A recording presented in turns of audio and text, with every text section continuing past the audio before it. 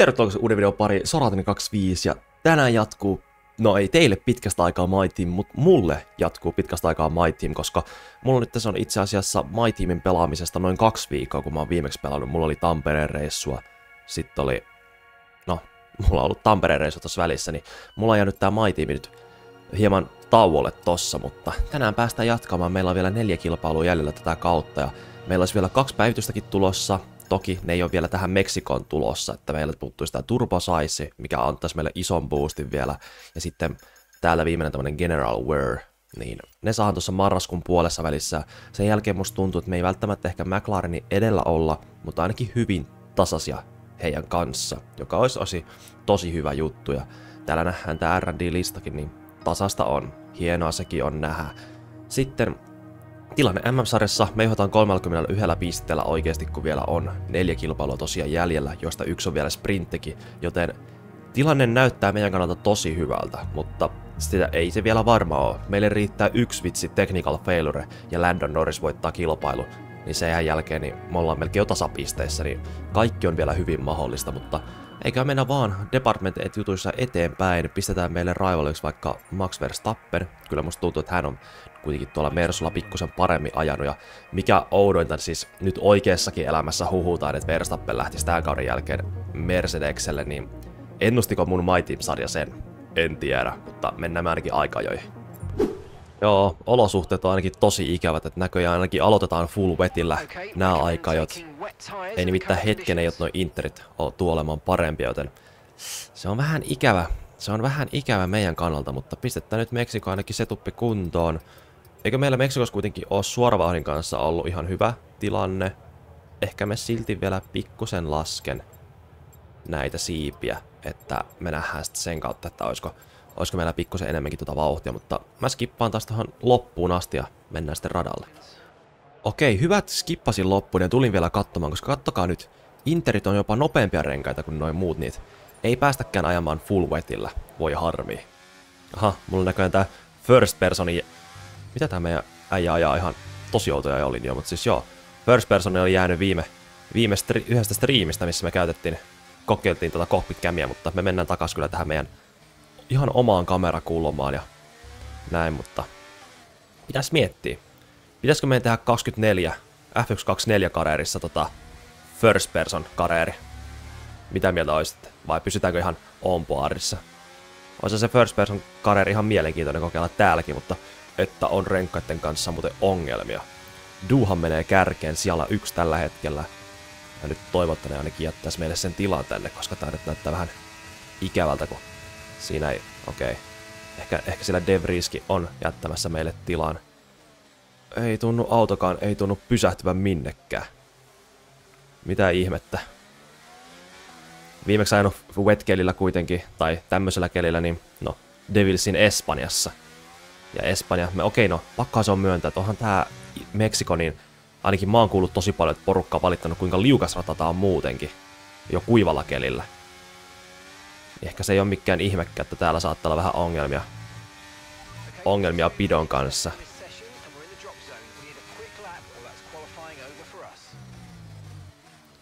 Joo, me tarvitaan quick lap, mutta meillä menee jokainen mutka tosi pitkäksi, mikä on tosi valitettava asia. Tullaanko me tässä aika, jossa näkemään enää kuivaa keliä? En tiedä, mutta nyt vaan varovaisesti tää ulostulo tästä ja kyllä mä nyt toivottaa jatkoon riittäisi, koska olihan toi nyt silleen ekaks. Ekaks. Aika, okei. Okay. Näköjään meillä sitten vauhti oli ihan hyvä, mutta kyllä me tosi paljon virheitäkin tehtiin. Okei, pitää tarkistaa, mikä AI mulla on jäänyt. Onhan tää nyt oikea AI meillä täällä. Mutta jatkossa on Alppinen Saad. Molemmat Red Bullit tippuu. Molemmat Red Bullit tippuu kuin ykkösessä. No Red Bullit on kuitenkin, me ollaan lähe, lähempänä Red Bullia kuin Mersoja, mutta tuo on iso juttu. Ja tuo on mestaruustaistelun kannalta myös iso juttu.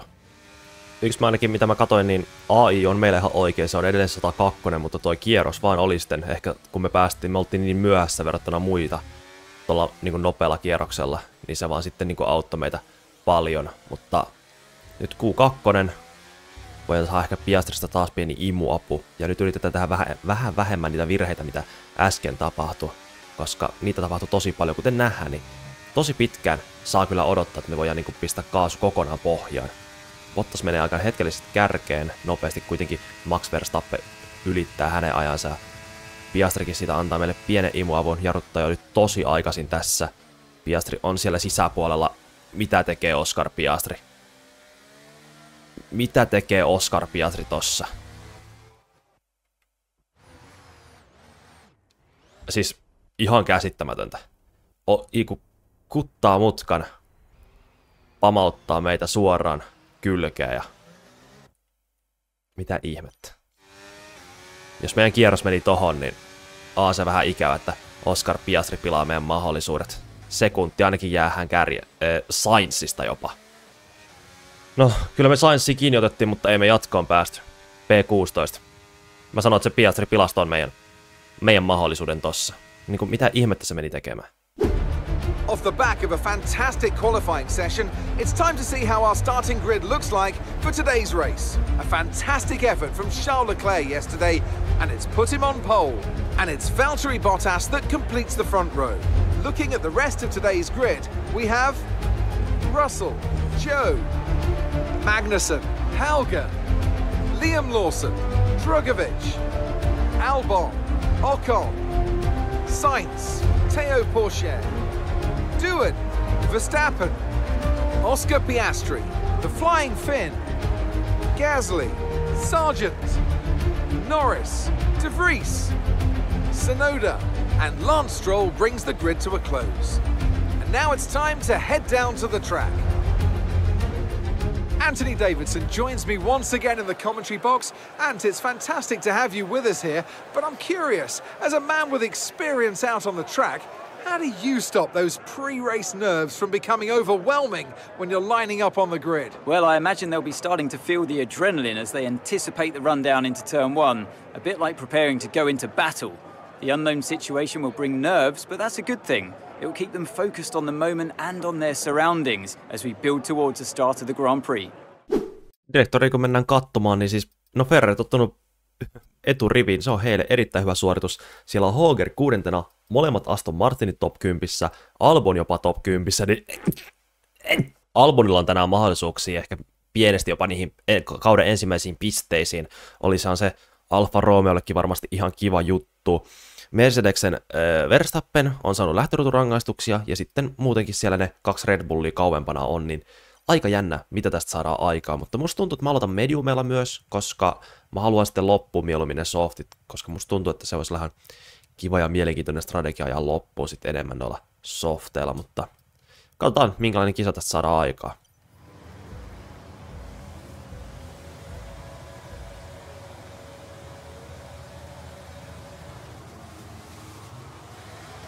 Sainz ottaa heikon lähön, Purser ottaa heikon lähön. nyt ottaa muuten aika moni heikon lähön tuolta meidän edestä. No siis tähän kelpaa meille. Kattokaa nyt tota kasaa. Kaikki on ihan eri ajolinjoilla, niin tää on vähän pelottavankin näköistä. Siellä mennään ehkä neljänkin rinnan. Tässä mä jarrutan jo hyvin aikaisin. Mä en nyt halua siellä lentää, mutta siivenpalasikin. Nyt on pakko vähän katata mutkaa, koska siellä en tiedä yhtään kuka se on, kenellä siivenpalaset lähti lentoon. Ja voiko olla Theo Purser nimenomaan sitten tässä. Sainz on tippunut 15 ei taas hyvä, että Sainz tippuu noita sijoituksia. Sitten vaan varovasti tässä ulkopuolelta. Kattokaa minkälainen linja vaan tuohon sisäpuolelle sitten. Kolmen rinnan. Ei hyvä. Vielä ollaan tässä tilanteessa mukana upealla linjalla siitä sisäpuolelle ja päästään Alboni eteen ja voila. Tää kelpaa meille. Totta kai nyt vaan vähän paha on se tosiaan, että meillä on no corner cuttingi tosta, mutta meillä on tosiaan noin mediumit, aika monella on noin softit, joten mua vähän jännät, jännittää niiden suhteen, että miten toi meidän vauhti tulee pärjäämään tässä. Että toivottavasti suorilla kuitenkin pysyttäisiin mukana. Hoger siinä taittaa ehkä pikkusen hidastaa tätä porukkaa tässä. Sekkä ei ole pahitteeksi meille. Hoger oli siellä, muuten siipi meni irti, joten Hoger on ensimmäinen parikolle meniä tässä kilpailussa. Nyt sitten suora vauhti vaan, niin mitä vähän näyttää siltä, että ei meillä ole mikään kauhean erikoinen tämä meidän suora vauhti. Okon ja Verstappen keskenään. Oi että. Heilläkin on kyllä ihan hyvää historiaa yhdessä osumien ja näiden kanssa, mutta miettikää jos kilpailu olisi nyt alussa, niin Piastrikin olisi nyt pistesijoituksilla. Me haetaan kuitenkin myöhäisempi jarrutus tästä, meillä menee pikkusen pitkäksi, mutta tuommoinen tosi, tosi röyhkeä daibombi ja nyt ollaan mekin jo pistesijoituksilla, niin sehän kelpaa meille hyvin. Musta tuntuu, että kaikki edellä olevat on nyt soft, softikuljettajia sitten, että voi olla, että hetki menee, että päästä niitä vastaan silleen kunnolla kamppaille. Se on kyllä oikeasti hyvä vertailla sitä, että meillä nyt on 102 AI, ja sitten siinä striimissä, missä me vedettiin sillä Copcamilla, Williamsilla, Equal-autoilla, niin me pärjättiin aika hyvin 105 AIta vastaan.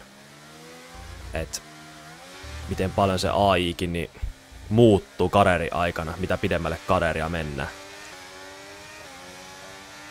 Toi meidän ero nyt tuohon edellä oleva, niin ei ole kyllä kauhean, kauhean mukava. Siellä Albon ja kumppanit saa kuitenkin meidän takaa DRS, niin se vaikeuttaa meitä. Kärjessä siellä nyt itse asiassa on Ferrari Sandwich Russellia vastaan, niin saa nähdä mitä siellä käy.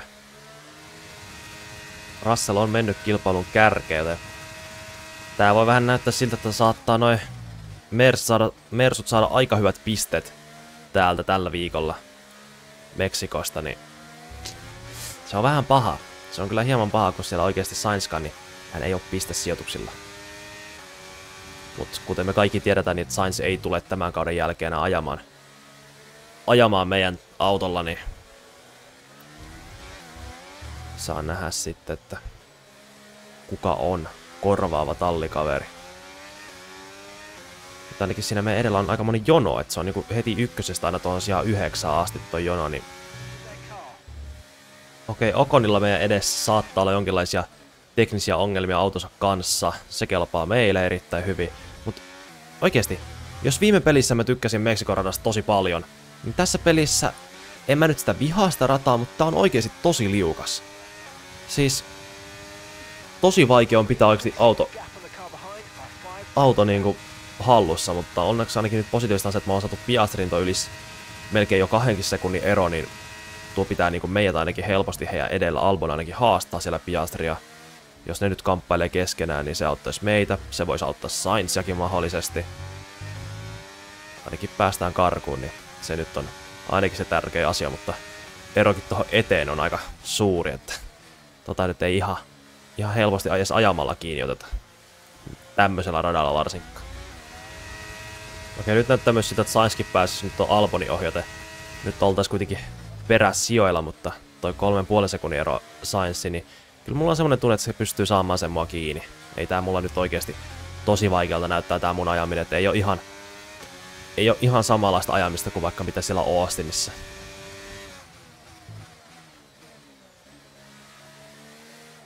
Meillä nyt vielä kuitenkin on Brasilia, Brasiliassa sprinttiviikonloppu, Portugali ja Las Vegasissa viimeinen kilpailu, niin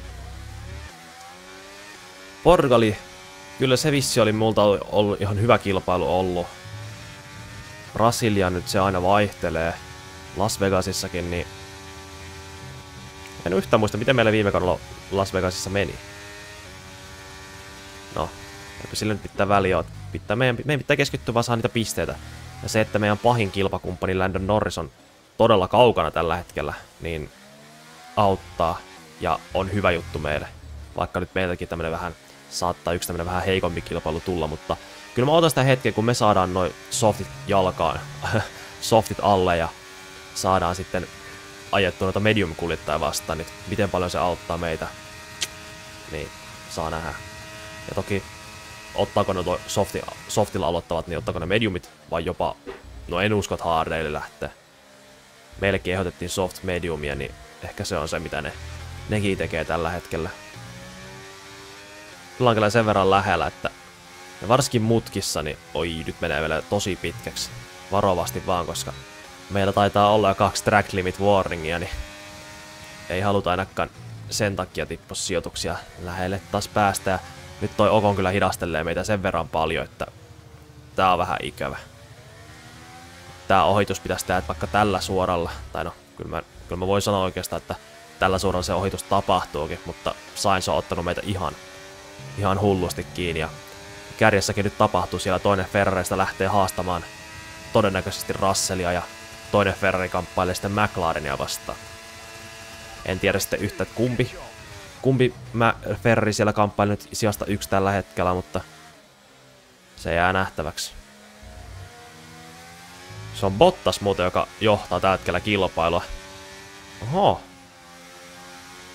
Bottaksellahan nyt menee aika, aika hyvin ja nyt tulee sitten Sainz ihan omalla vauhilla. Omalla vauhilla meidän eteen ja no, katsotaan, jos hän menee nyt varikolle, niin sitten hän menee. Mä jätän sitten varmaan vielä toinen kierros. Plus yksi kierros tähän settiin.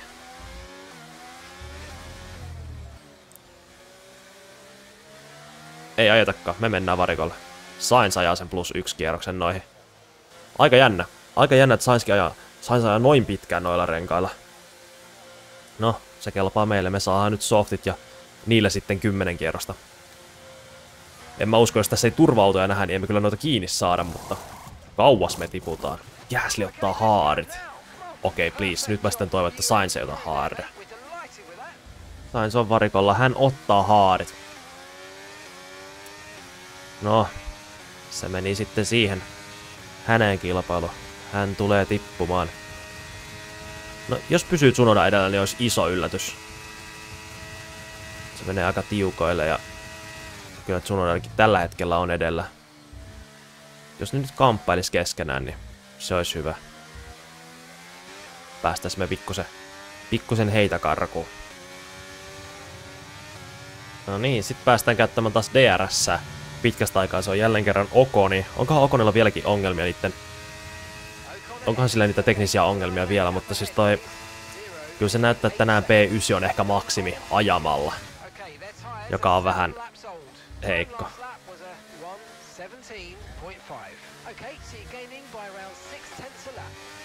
Okei, hänellä ei ole teknisiä ongelmia enää.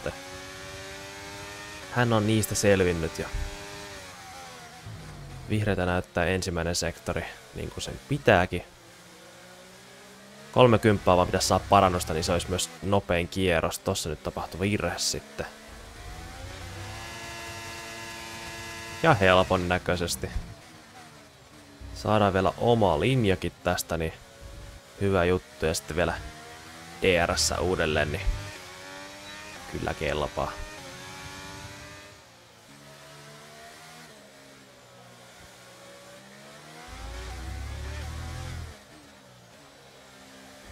Mitä? Et voi olla tosissas. Siis taas, kun toi tulee niin yllätyksenä tässä pelissä. Onko tässä pelissä vielä kertaa kasvattu teknistä vikaa niin, että se niinku periaatteessa vähän muutama vaikka kierrosta kaksi ennen varoittaa, että tämmönen saattaa olla. Puolitoista kierrosta matkaa maaliin.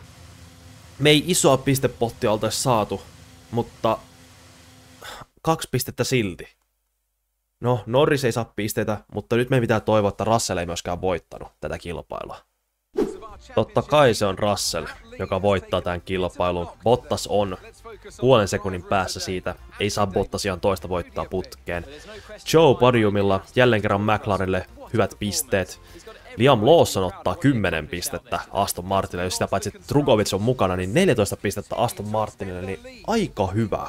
Tsunoda pääsee Red Bullilla pisteelle, Norris sen sijaan ei ole pääsemässä, eli Norris on siellä sijalla 17, eli vähän vaikea kilpailu ollut Norrikselle tämä. Minä ja Debris oltiin ainoita keskeyttäjiä, mutta kun on kolme kilpailua jäljellä, miltä standingit näyttää, me joitain M-sarjaa 23 pisteellä, Russell ohittaa Norriksen, Tsunodakin lähestyy Norrista, mutta kolme kilpailua jäljellä, ja nyt kun lasketaan nopeasti, niin tässä on tarjolla vielä 26 plus 26, 52. Plus 26. 78. 78 pistettä on niinku kilpailusta plus sit vielä sprinttivoitto, eli 8 pistettä, eli 26 pistettä on vielä tarjolla tällä kaudella, joten nyt voidaan laskea, että Sainz on ulkona mestaruustaistelusta, mutta Sainz taistelee vielä kakkosijasta. Constructorit Mercedes pääsee meitä karkuun. Me ollaan 9 pisteen päässä Red Bullista ja no Mercedes on 50 pisteen päässä meistä, joten jos me halutaan miettiä tallimestaruutta, niin se tulee olemaan tosi vaikeeta, mutta saa nähdä miten käy. Ja yksi iso juttu, niin Aston Martin ohittaa Haasin ja tiputtaa heidät kahdeksanneksi, niin se on oikeasti, se on oikeasti tosi iso juttu, kun miettii, että miten tämä kausi on mennyt. Kyllä Aston Martin on yksi parhaimpia kehittyjä tällä kaudella, mutta Seuraavassa jaksossa meillä on luvassa Brasilian sprinttiviikon loppu, viimeinen sprintti tähän kauteen. Miten meillä siellä käy, niin kannattaa odottaa. Tykätkää, tilatkaa, kommentoikaa. Mennään kyllä seuraavan videon parissa. Se on Raatiri 25. Heipä hei!